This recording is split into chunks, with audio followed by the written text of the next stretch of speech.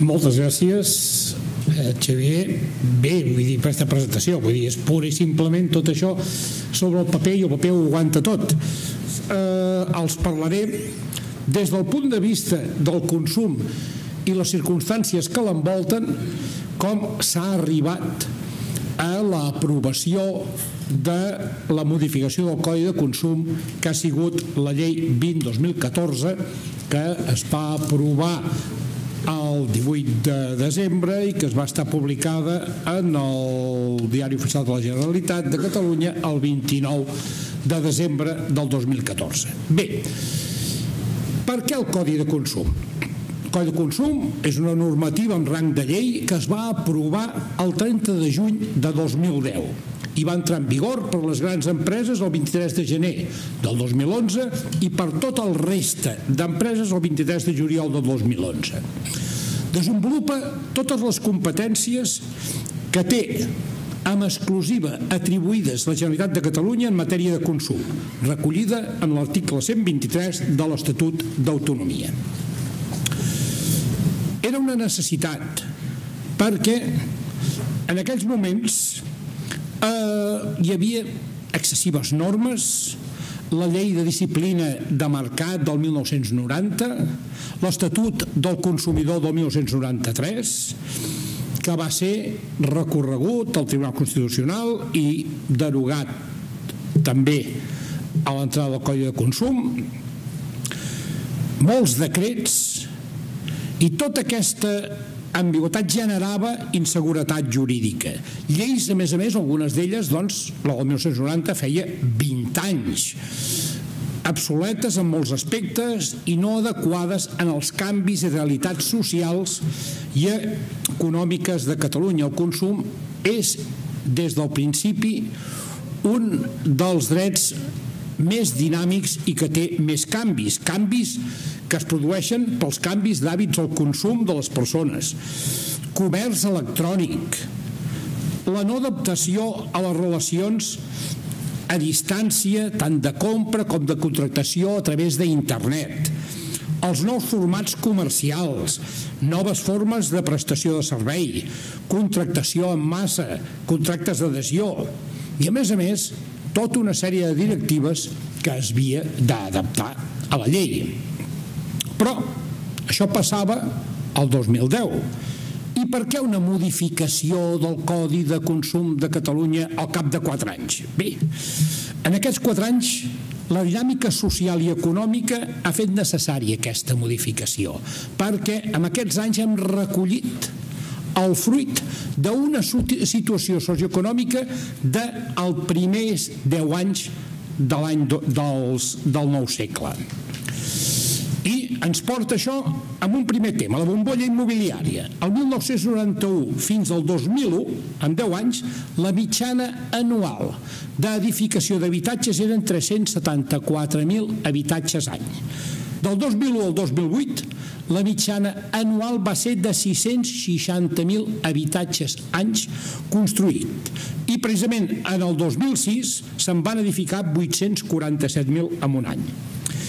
El creixement dels crèdits, els crèdits a les famílies, la immigració atreta per aquest sector de la construcció va passar del 1996 amb 923.000, quasi 24.000 persones immigrants, el 2008 amb 5.220.000 persones.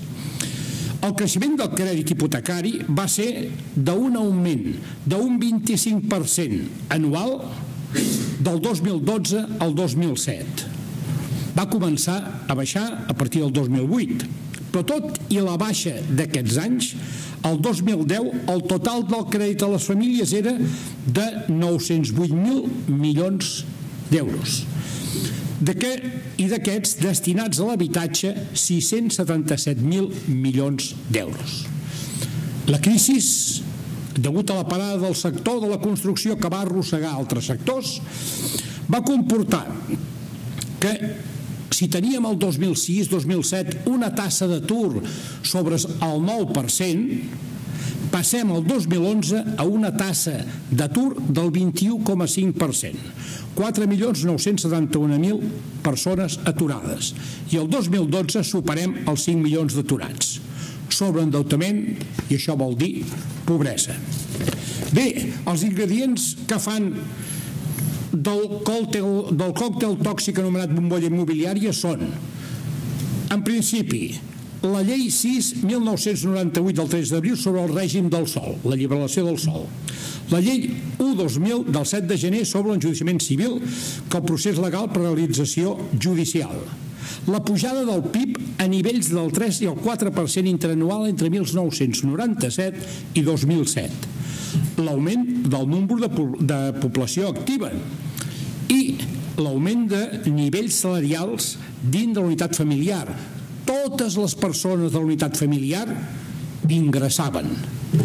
La política del sector bancari, interessos baixos practicats pel Banc Central Europeu, taxacions de les, dels habitatges alta, vulneració del principi de prudència amb les taxacions, hipoteques que es donaven per sobre del 100% del valor de l'habitatge. I tot això embolcallat amb una publicitat enganyosa desinformació i excessiva confiança de tots en el sistema econòmic. Aquest model, en línies general, generals, que s'ha mantingut fins a l'actualitat, dona uns resultats pels quals el sistema condemna els seus propis ciutadans a ser rehens de la banca, de la seva deuta hipotecària i dels especuladors immobiliaris. La realitat del problema és que de desnonaments a Catalunya del 2007 al 2013 se'n van fer 93.000 i que per l'altre cantó els ajuts al sector financer que va ser la línia que va obrir la Unió Europea era un crèdit fins a 100.000 milions d'euros amb una previsió de que fora entre 50 i 60 total que la recaptació el rescat d'actius i altres mesures van sumar en total 107.000 milions d'euros. I com la normativa europea impedeix que aquests tipus d'ajudes vagin directament al sector privat, l'estat espanyol és el responsable de fer la petició formal i de rebre el capital de la Unió Europea que es canalitza a través del FROP, el Fons de Reestructuració Ordenada Bancària, com a agent del govern espanyol. Conseqüència, els deutes privats es converteixen en deutes públics i el pagament l'hem de fer entre tots els contribuents, entre tots els consumidors. Per tant, era necessària una modificació del Codi de Consum per adaptar-lo a la situació socioeconòmica actual la situació de les persones consumidores i la única competència possible en fer-ho, que era la que teníem transferida, era a través de les competències de consum. Per tant, la llei 20 2014 del 29 de desembre, que modifica la llei 22 2010 del 20 de juliol del Coll de Consum de Catalunya, és per la millora de la protecció de les persones consumidores en matèria de crèdits i préstecs hipotecaris, per la vulnerabilitat econòmica i també per les relacions de consum. Per tant, en aquí se'ns obren cinc àmbits. Un, el millorament de la protecció i la formació de les persones consumidores en relació a la subscripció de crèdits i préstecs hipotecaris. Segon, l'establiment de mesures per fer front a la vulnerabilitat econòmica de les llars, especialment fa a la pobresa energètica. I després les altres mesures relacionades amb la protecció dels drets i interessos com són l'ampliació del concepte de consumidor, la taxa d'inspecció i les millores d'informació i adequació de normes de les relacions de consum entre empreses i consumidors. Començarem per la matèria hipotecària. Es regula la comunicació publicitària i la publicitat de préstecs i crèdits. Ha de ser clara i veraç. S'incrementen les obligacions de transparència, especialment en preus i amb les comissions que s'inclouen. Es regula el contingut de la informació prèvia, especialment amb allò que fa referència amb els possibles increments dels interessos i del risc de perdre l'habitatge en cas d'incompliment dels compromisos derivats del contracte. Es concreta l'abusivitat de les clàusules sol, es recull la possibilitat que les persones consumidores puguin escollir federatari públic i a la vegada puguin també aportar la taxació de l'habitatge. S'estableix la mediació prèvia abans de presentar qualsevol reclamació administrativa o demanda judicial.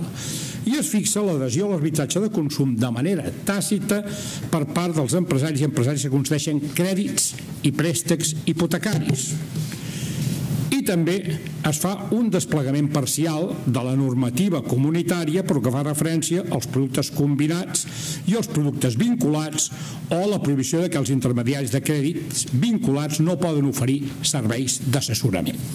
Altres mesures, també amb clàusules abusives, són el tipus d'interès de demora que no pot ser superior a tres vegades l'interès legal del diner i les que fixen un límit a la variació a la baixa i a l'alça del tipus d'interès, el tema de les clàusules sol. El segon és la pobresa energètica, que també s'inclou dintre de la llei. Per què la pobresa energètica? Ens hem de, hem de partir de les directives europees. Les directives 2009, la 72 i la 73 del Parlament Europeu i el Consell sobre les normes comunes del mercat interior d'electricitat i gas diuen clarament l'obligació que tenen els estats membres de definir la vulnerabilitat energètica i les mesures de protecció de les persones vulnerables i posa que la transposició d'aquestes directives ha de ser com a màxim el 3 de març del 2011. Bé, el traspàs fet per l'estat espanyol és la modificació de la llei 54.997 del 27 de novembre del sector elèctric i gas a través del Reial Decret Llei 13-2012 del 30 de març del 2012, com podran veure un any després de lo que marcava la directiva per la transposició. Però el cas és que aquesta transposició queda reflectiva de la següent manera la definició dels consumidors vulnerables i els requisits que han de complir, així com les mesures a adoptar per a aquests col·lectius, s'han de determinar per reglament del govern. Estem al 2015, no s'ha adoptat mesures i no hi ha cap reglament. Per tant, a partir de les directives i a partir de que no hi havia reglament, el govern de la Generalitat aprova el 23 de desembre del 2013 el decret llei 6-2013 per la protecció de les persones vulnerables en pobresa energètica. Decret que va ser recurs d'inconstitucionalitat interposat pel govern de l'Estat a instàncies de la Direcció General de Política Energètica, Mines, del Ministeri d'Indústria, Energia i Turisme i suspès el 24 d'octubre de 2014, just a l'entrar a l'inici del hivern 2014-2015. Bé, el govern de la Generalitat va continuar treballant buscant mesures pal·liatives i una d'elles va ser a la llei de protecció a les persones que contractaven eh, crèdits o préstecs hipotecaris afegir també a la modificació del Codi de Consum els articles per protegir a les persones en pobresa energètica. Es va derogar el decret 6-2013 i es va incluir el que deia la directiva. Definició de pobresa energètica, persones en situació de vulnerabilitat econòmica, la protecció, els criteris de protecció, l'obligació de les empreses de subministradores d'informar amb els avisos de tall per banca de pagament dels drets que tenien les persones en situació de vulnerabilitat econòmica, què podien fer per evitar el tall i les persones en situació de vulnerabilitat econòmica estan protegides contra els talls de subministrament en electricitat, gas i aigua que es va introduir que en el decret anterior no hi era. La, els mecanismes de protecció, si una persona té un avís de tall, té 15 dies per presentar un informe dels serveis socials bàsics per evitar que es produeixi aquest tall i si el que presenta és una sol·licitud d'aquest informe, té dos mesos per presentar l'informe. Aquesta protecció és per tots els períodes crítics, períodes que es fixaran per ordre de conseller, i la vigència de l'informe és de sis mesos. I per tant, el deute acumulat que es podrà pagar fraccionadament en terminis si hi ha comú acord entre l'empresa i la persona eh, que ha presentat doncs, la certificació de vulnerabilitat energètica que es pot resoldre mitjançant mediació o arbitratge, però sí que exaurits tots aquests mecanismes. No hi ha la possibilitat d'arribar a un acord, la persona no pot estar desatesa.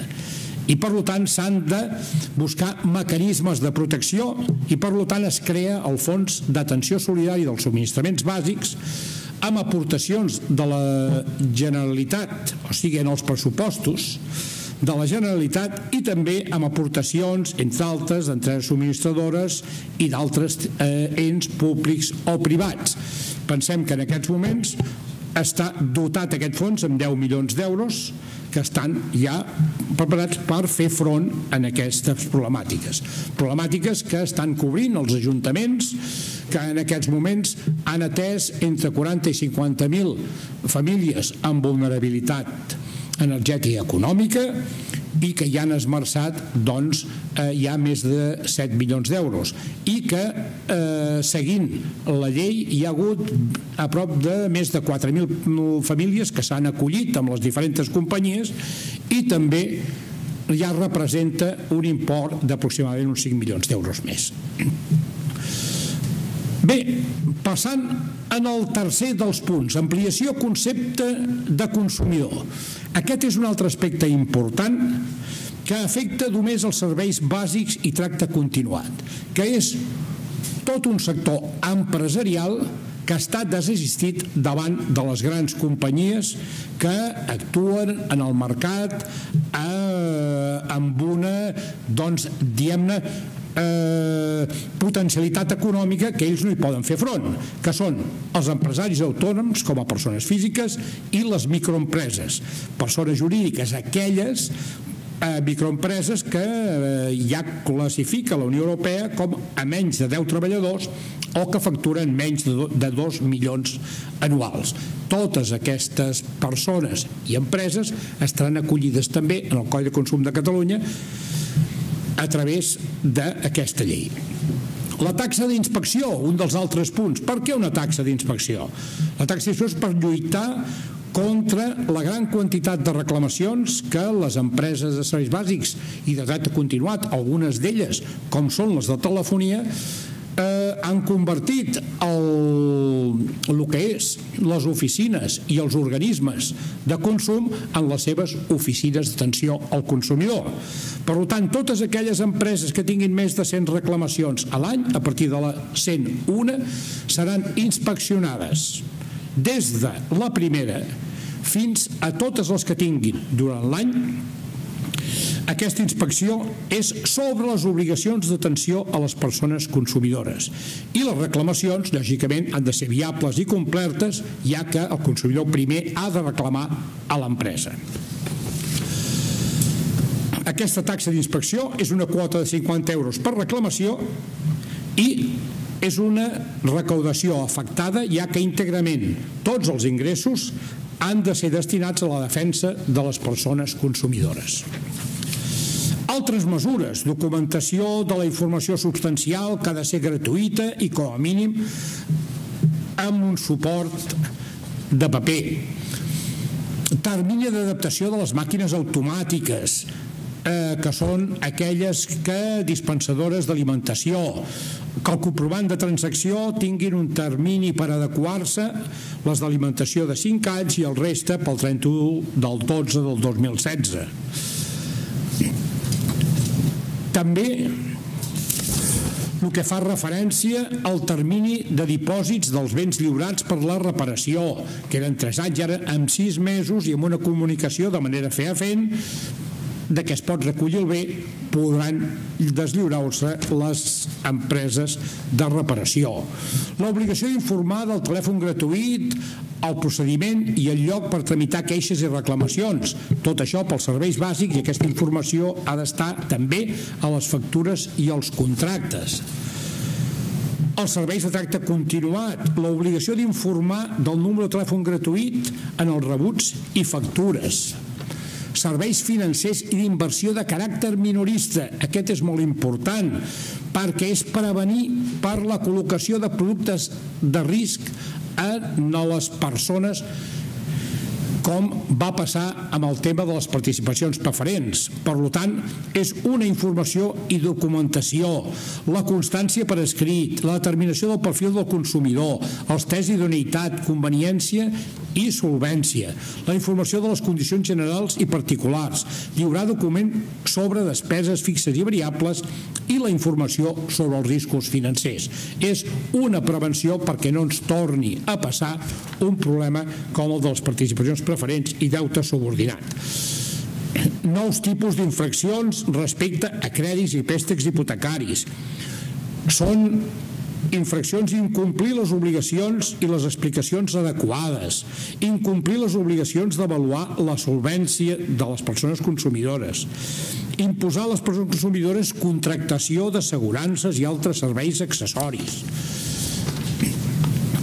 també altres mesures complementàries a la sanció com són que l'òrgan al qual correspon resoldre l'expedient pot requerir a l'infractor l'eliminació i el cessament de la incorporació de clàusules o de pràctiques que siguin considerades abusives o deslleals. I en el supòsit de crèdits i préstecs hipotecaris, l'òrgan al qual correspon de resoldre l'expedient pot acordar l'adhesió en pagament o altres mesures complementàries sempre que hi hagi una relació directa entre la, clàusula, la clàusula o la pràctica abusiva o deslleal i la mesura adoptada. I, per últim, la interrupció de la prescripció de les infeccions que també es regula. Bé, tota aquesta llei va entrar en vigor per lo que feia referència a pobresa energètica i per la urgència a l'1 de gener del 2015 i el reste de preceptes a l'1 d'abril del 2015. Bé, ha sigut una explicació potser una mica accelerada, molt... però explicant el que des del punt de vista de consum creiem que havíem d'aportar i probablement ens hem quedat curts dintre de lo que són les competències que té consum per la modificació del codi. Gràcies.